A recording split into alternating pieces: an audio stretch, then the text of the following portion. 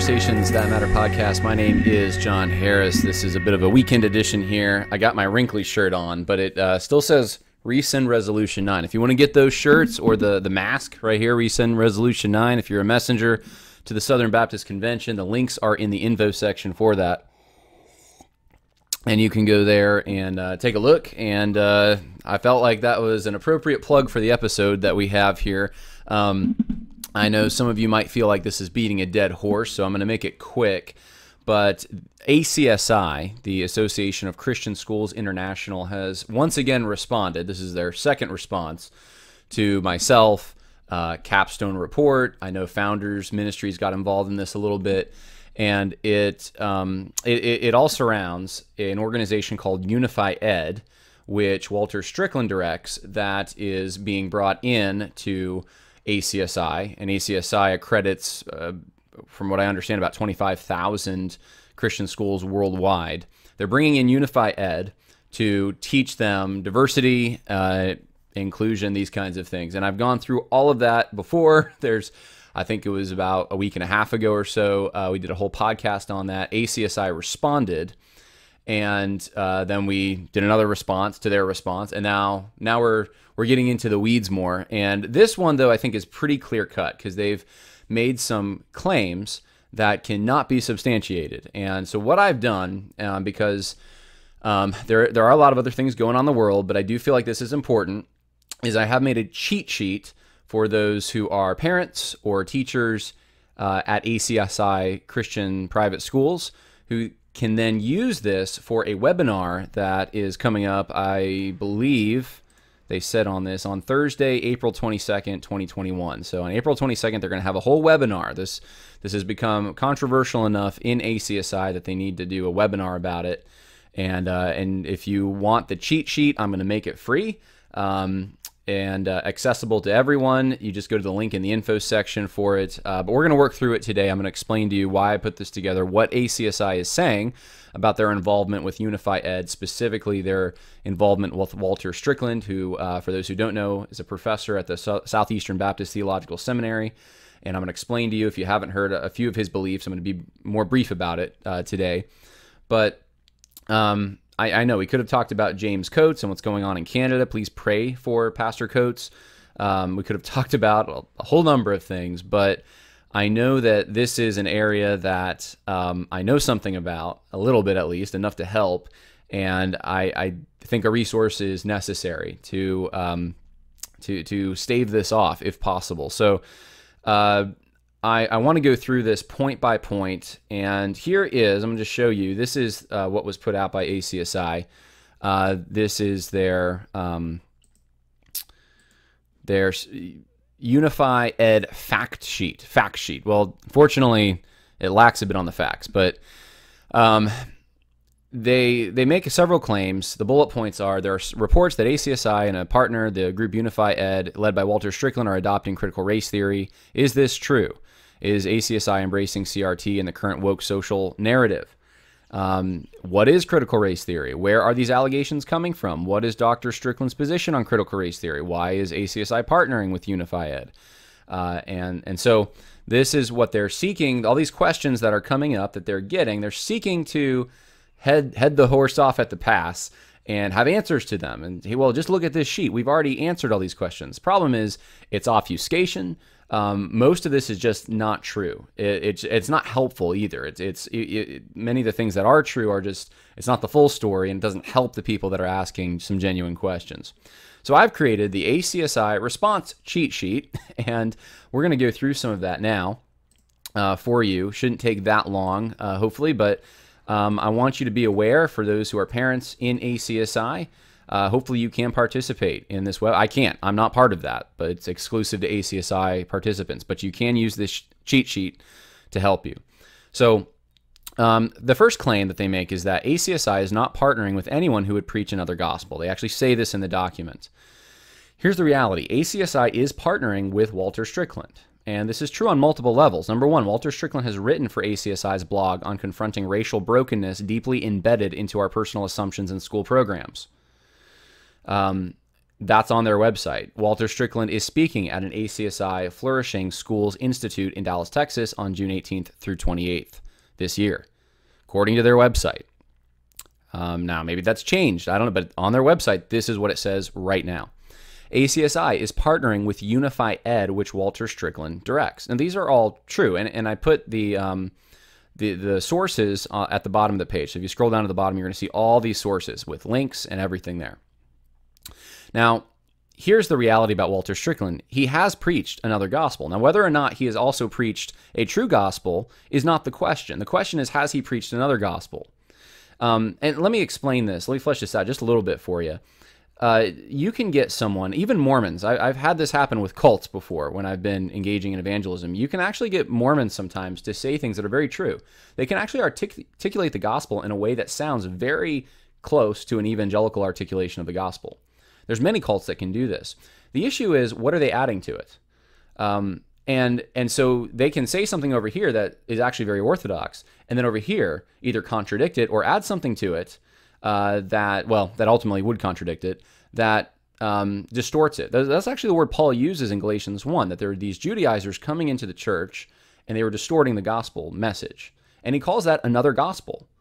He doesn't say they're starting from scratch, building their own gospel from scratch. No, they're actually taking the pure gospel, they're distorting it. Uh, so they're, they're using the, the pure true gospel, distorting it, and adding works righteousness. And, in that day, circumcision was the main controversial element. Today, it's not circumcision. Today, uh, right now, where we stand with the social justice movement, at least, um, it's how racially diverse is your church, and you know, are you doing A, B, and C to fight for equity, inclusion, diversity, and again, supposedly white supremacy? But it's it's a spin, it's a definition of white supremacy that um, we didn't really even most of us didn't weren't even aware of until you know five years ago, um, perhaps at the earliest if you're in academia before that. But they're they're adding their own kind of works righteousness spin, and Walter Strickland definitely does this. And so it would meet the criterion, uh, according to Paul at least, of a false gospel. So let me let me give you the the chapter and verse here. You you've many of you have gone through this before. Repetition in this is going to be a little helpful. I've added some things, but if you're fighting this, you're going to need to know your stuff. Walter Strickland um, is, uh, like I said, a Southern Baptist professor. He's heavily influenced, though, by liberation theology. In 2016, um, he said that James Cone had a beautiful monograph that um, the interviewer who was interviewing him needed to read and be blessed by, and it was called The Cross and the Lynching Tree. I've gone over this before. The Cross and the Lynching Tree is heretical. James Cone's understanding of the gospel is not the gospel, and that is obvious. Um, Walter Strickland also described Liberation and Reconciliation by J. Deotis Roberts uh, which, by the way, that book condemns the Bible based gospel and promotes the teachings of Freud and Marx as necessary. He says that that is his favorite theological book of all time. Now, it may not be for those reasons that I just mentioned. I'm just saying that those are contents in the book. And uh, if you there's a, there's a lot of problematic stuff in that book by J. Deotis Roberts. It does not have the true gospel. It is over and over articulating what would be considered a false gospel. Walter Strickland likes it though; it's his favorite theological book. And the reason he endorses these books and these uh, liberation theologians is because J. Deotis Roberts helped him see the universal imperatives of what? The gospel. By imagining a more relatable Christ who appeared culturally as whoever you are, wherever you are. Well, that's not biblical. Um, James Cone introduced Strickland to the concept of systemic sin and opened his eyes to the idea that Christ is trying to restore brokenness by addressing racial oppression. In an interview from 2018, this was from Southeastern Baptist Theological Seminary, Strickland described James Cone as someone who wanted to see the social vitality of the gospel. Now, watch out for this language, you know, gospel imperative, social vitality of the gospel that needs to be seen. Watch out for maintenance language when people say, um, you know, and this is different than sanctification, guys, uh, that in order to maintain your standing before God, you maintain your gospel witness, maintain your gospel orthodoxy, um, or including as part of the gospel some kinds of works. Watch out for that.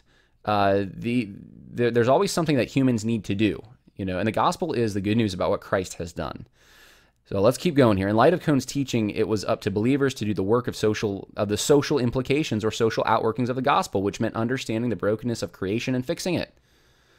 So that's what there's these social implications of the gospel.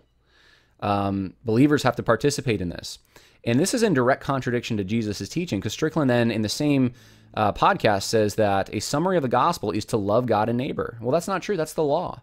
So he's conflating law and gospel. That is that's what happened with the Galatian heresy, guys. This is another gospel.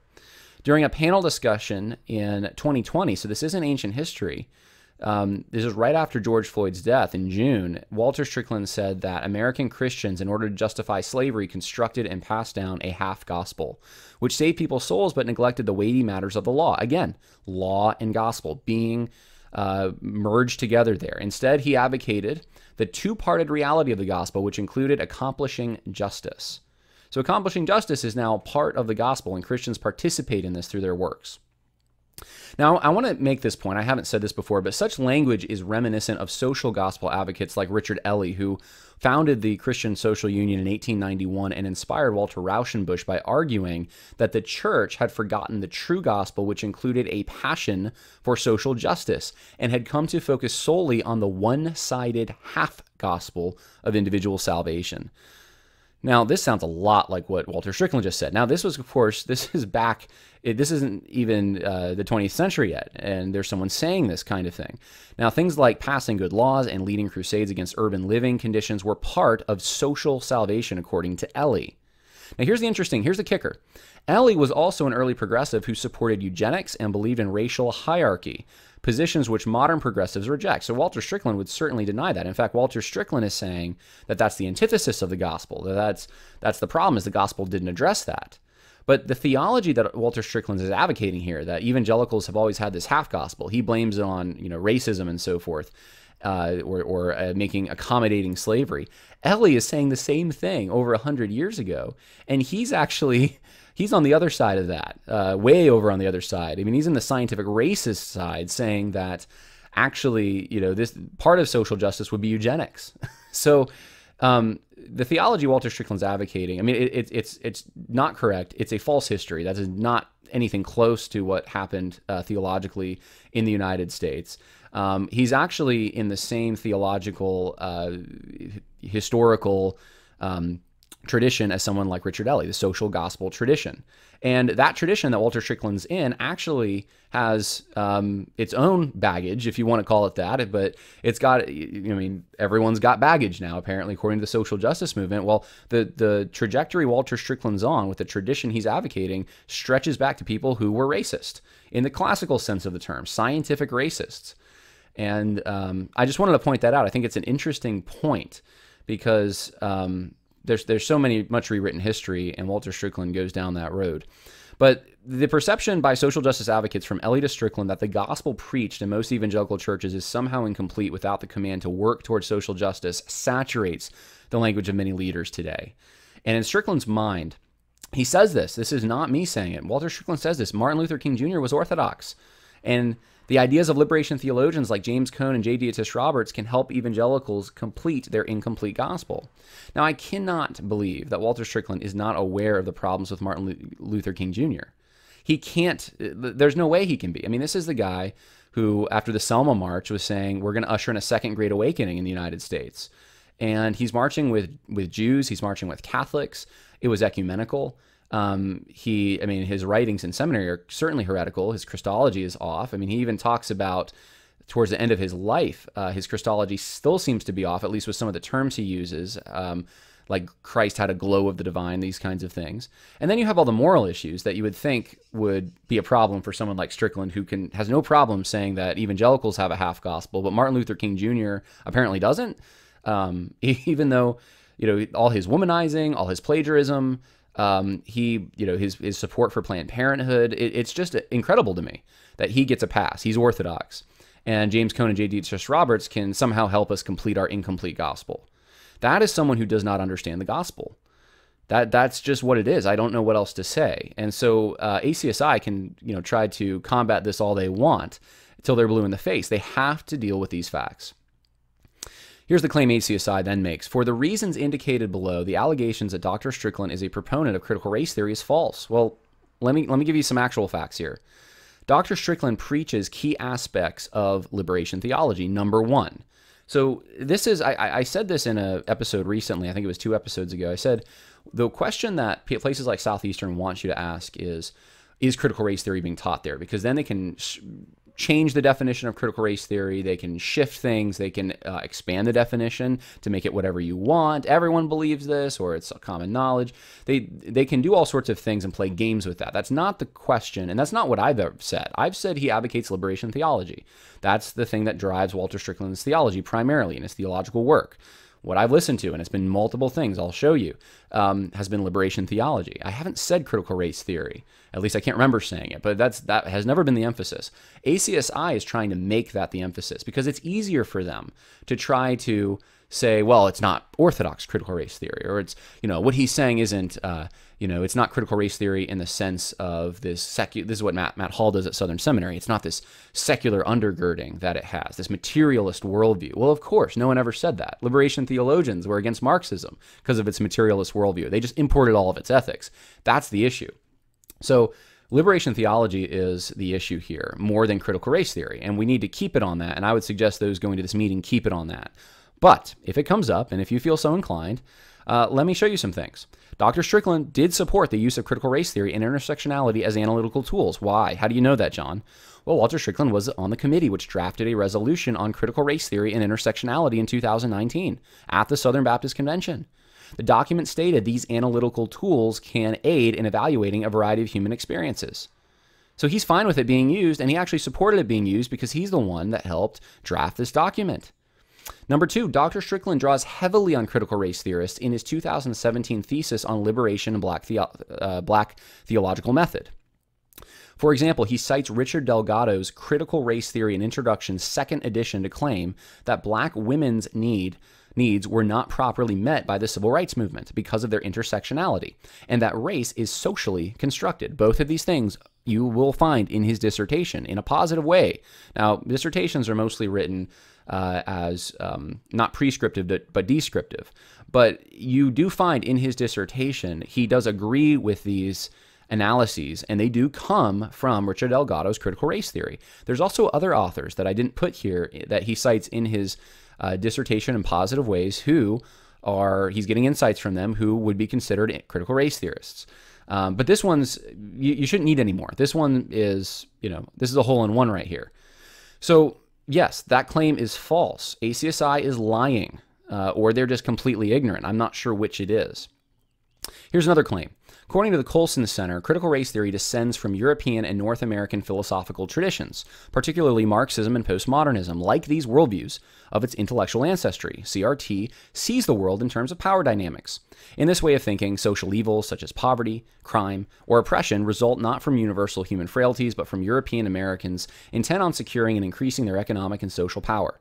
Based on this meta narrative, equality and justice demand CRT sees members of the oppressed group as morally right, members of the oppressor group as morally wrong, privileging the stories of those kept out of power. Now, here's the problem with this definition, guys. Now, I mean, it's hard. Sometimes critical race theory can be so broad uh, in some people's conception um, today that it's hard to, you know, you have like eight or nine points. But here's the thing you can boil it down. I've, I've said this before. You can really boil it down to two basic things the standpoint theory, that's the postmodernism, and then the, um, well, I want to say, social conflict theory that comes from Marxism, but transfers itself into uh, this idea that there's the hegemony in society is systemically racist. And, and here's this would be my response to this. ACSI's definition fall, fails to mention how interest convergence leads to hidden systemic racism.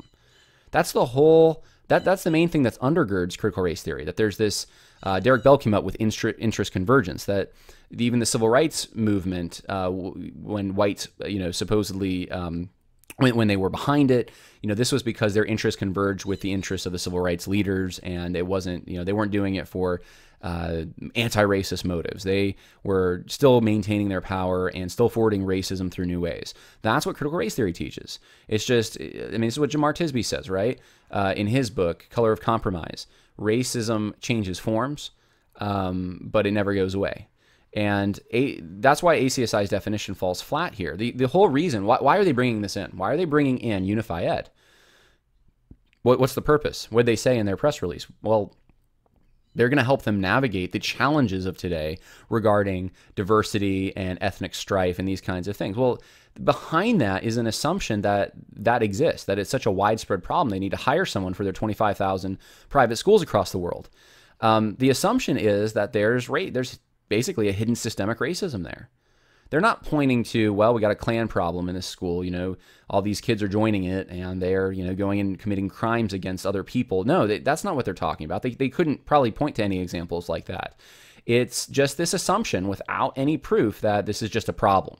Well, why is it just a problem? So th- there you have the that's the assumption, and that's what they don't put in this in, the, in this definition. And I think that might be by design. Uh, but standpoint epistemology also plays a very pivotal role in critical race theory. The idea that there are different um, social locations uh, by which to understand something to be true or interpret it. And so you need all these other interpretations to make sense of truth and reality. It's anti realism. Um, that's also part of this. So they don't mention those things, which means their definition is woefully short.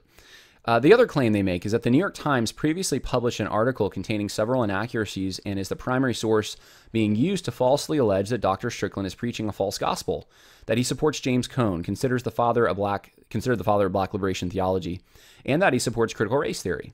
Well, the reality is the New York Times actually has not been the primary source used to describe Strickland's dangerous views. And that's that's just a fact, guys. I don't even know if I mentioned it when I went over this. It's not the primary source. And I have never seen, Danny Akin said this too, well, you can't trust the New York Times. Well, what did they report that was wrong? Spell it out for us. They, they've never been able to do it. They've never been able to refute what the New York Times reported and quoted Dr. Um, uh, uh, Strickland is saying. So, but ignore the New York Times. New York Times, you can get rid of the New York Times. Who cares? Here are the sources that you should be looking at the Walter Strickland, The Balanced Scholar, The Life and Work of J. Deotis Roberts, interview by Lisa Fields, 2016. The link is right there. Walter Strickland from the Lectern, episode 75. Remembering James Cone, part 2. Then you have Remembering James Cone, part 1. Both of them. Links are right there. Cultural Diversity and Hermeneutics panel in 2019 from Southeastern Baptist Theological Seminary. He's got a few quotes that he puts on that panel that shows that he agrees with standpoint theory, standpoint epistemology. Walter Strickland, An Honest Conversation on Race and Justice, June 17th, 2020. Watch that one. Um, that's where he talks about the half gospel. Walter Strickland, an on, honest. Well, I put that in there twice somehow. I guess I don't know how I ended up with that, but uh, that's a typo. So there's twice you you'll have an honest conversation about race and justice.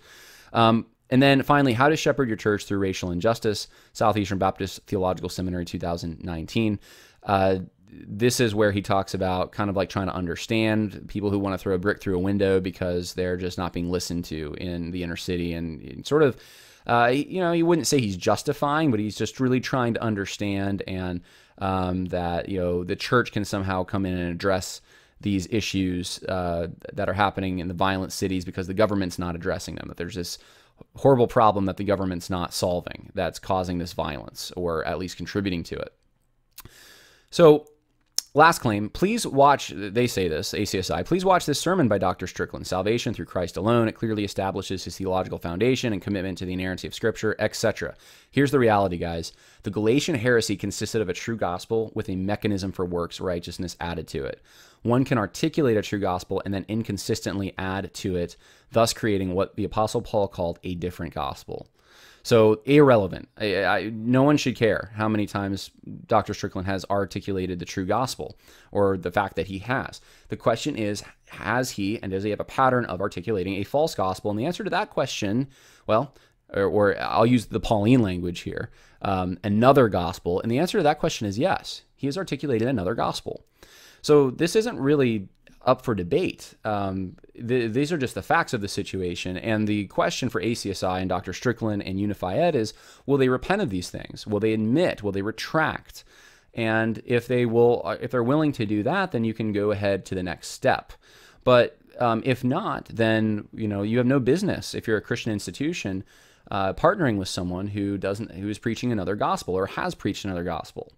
And the main root question I think parents and teachers need to be asking is why is this necessary? Why is this a good use of funds? Why bring people in to teach us about diversity and to try to navigate um, social um, uh, conflict between ethnic groups and these kinds of things? Try to get to the root issue. What is it that we need from UnifiEd?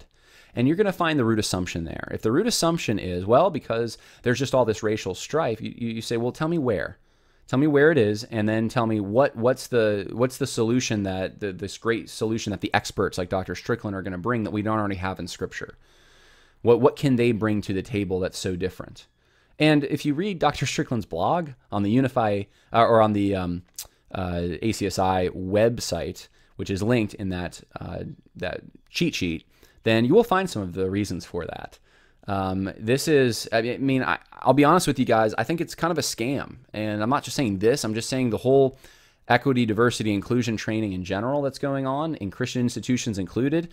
It's a lot of it's just a scam. It's bringing people in to make the organization feel good uh, or think that they're doing something about this problem. It gives them an opportunity sometimes to virtue signal.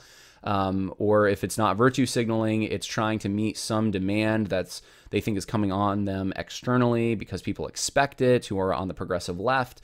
And they put people through this stuff, and it ends up being this kind of implicit bias training you know, opening people's eyes, going through a conversion to get woke, understanding uh, supposedly how, well, I didn't realize, you know, the kind of music I listen to, or the way I dress, or the way I talk, or uh, the bumper stickers on my car, or the Trump flag that I have outside my house, or the hymns that I sing at church, or the list goes on, how all of these things are just contributing to so, so many hurt feelings and, and racism and stuff. And it's all fake.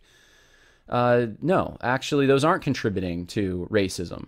Um, racism is, you know, if you want to get back to the more of a biblical definition, ethnic partiality would be um, excluding and and real exclusion, not actual, not not just well that person didn't feel as included as they they they should have because you neglected to you know I don't know, uh, celebrate you know the holiday that's important to their family or something like that. No, I mean like real exclusion, like real uh, keep ma- ma- preventing someone from making a living, um, persecuting someone by with physical violence because of some external factor, because they're different than you in some way, and so you're going to uh, commit some kind of violence against them.